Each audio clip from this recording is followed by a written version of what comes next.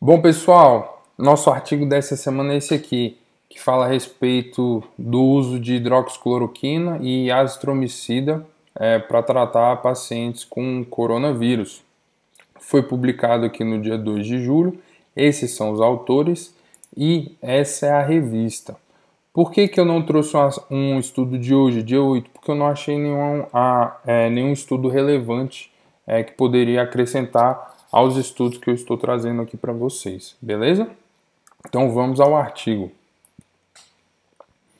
Como ele ainda está no pré-proof, uh, o formato dele vai estar tá um pouco diferente, tá? A gente vai ali até os materiais e métodos e depois vai ter que descer porque as tabelas e as figuras estão é, lá no final, tá? Então aqui tem os autores, os highlights aí, depois quem quiser printar ou parar para ver, tá? Aqui o resumo, ele vai entrar na introdução, falar o que está acontecendo, enfim. O que nos interessa aqui são os materiais e métodos. Vamos lá, isso é um estudo retrospectivo, tá bom? Comparativo. Foi feito nesse sistema de saúde aqui, tá? Contendo seis hospitais. É, e aí, os, o, o estudo foi feito aí entre o período do dia 10 de março até o dia 2 de maio, no qual os pacientes foram incluídos. E para ser incluído aqui, o paciente tinha que ser diagnosticado é, positivo para Covid-19, é, feito pelo teste de PCR, com biomarcador de PCR. Tá? E aí é, foram quatro tipos de tratamento. Aqui, ó, somente a hidroxicloroquina, somente a azitromicida, azitromicida com hidroxicloroquina, ou seja, esses dois combinados, e é, sem medicação, tá certo?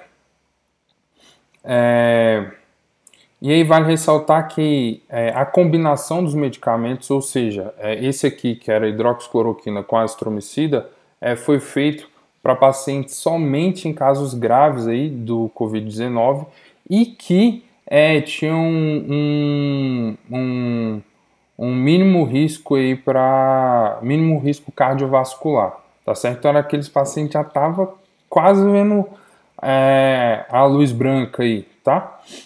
É, e aí vale ressaltar aqui só essa abreviação que a gente precisa dela lá para interpretar os resultados, beleza? LOS. Então vamos lá. Como eu falei para vocês, como ainda está no pré-proof, as tabelas é, estão lá no, no, no final junto com as figuras. E aí depois a gente volta para concluir o estudo. Então vamos lá, aqui. Vamos lá. Quem é, não, não teve medicação, nenhuma dessas, né? É, quem teve somente hidroxicloroquina, quem teve somente azitromicida e quem teve a combinação dos dois, hidroxicloroquina e azitromicina, tá? E aqui é a mortalidade, é expressa em porcentagem. Então a gente consegue ver o seguinte: dos três, quem tomou somente hidroxicloroquina teve uma menor mortalidade, né? 13 aqui por cento, 22% e 20%.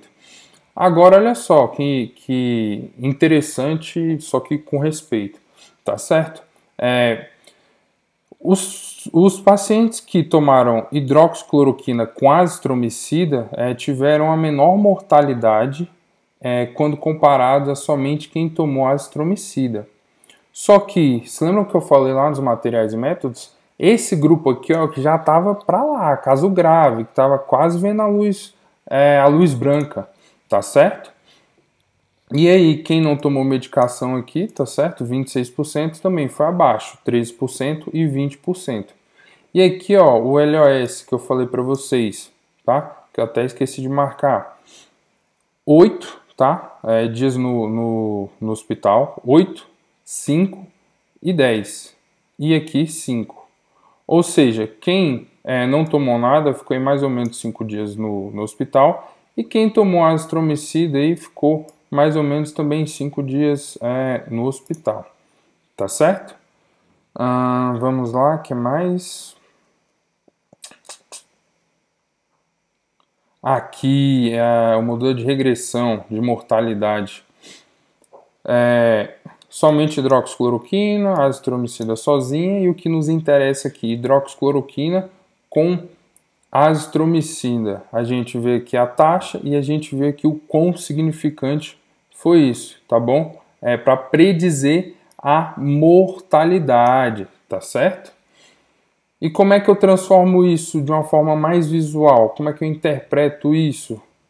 Cadê o gráficozinho? Aqui, a curva de Kaplan-Meier. Vermelho é quem não tomou medicação nenhuma.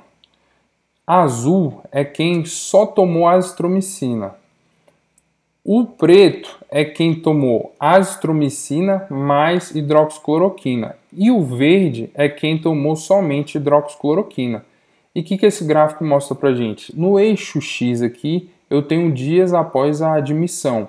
E no eixo Y aqui, eu tenho a probabilidade de sobrevivência, a probabilidade de sobreviver. Então, eu consigo ver que quem não tomou nenhuma medicação teve a menor probabilidade de sobreviver.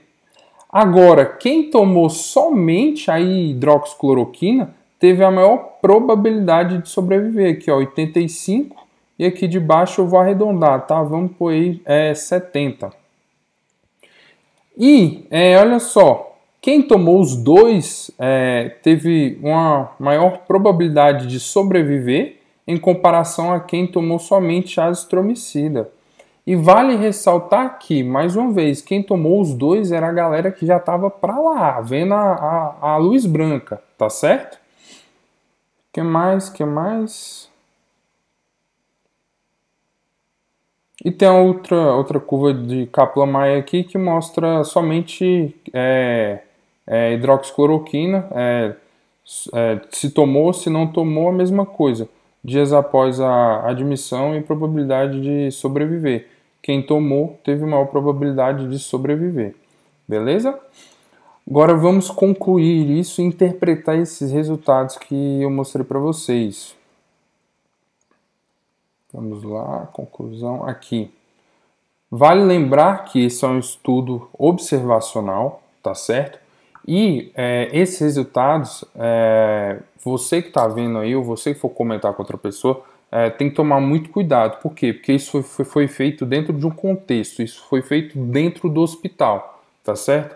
Agora, é, se a pessoa está em casa, sentiu um sintoma ou foi diagnosticada e é, foi mandada para casa, cara, não faça isso, não tome nenhuma dessas medicações, é, procure um médico, enfim é, automedicação nunca, tá bom?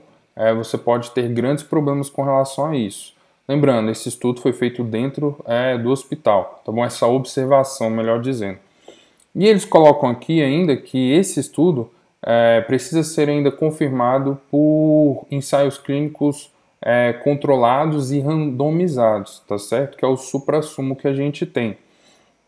E aí, é, deixa eu voltar lá para capa para a gente poder concluir isso. Então, seguinte, esse foi um estudo observacional.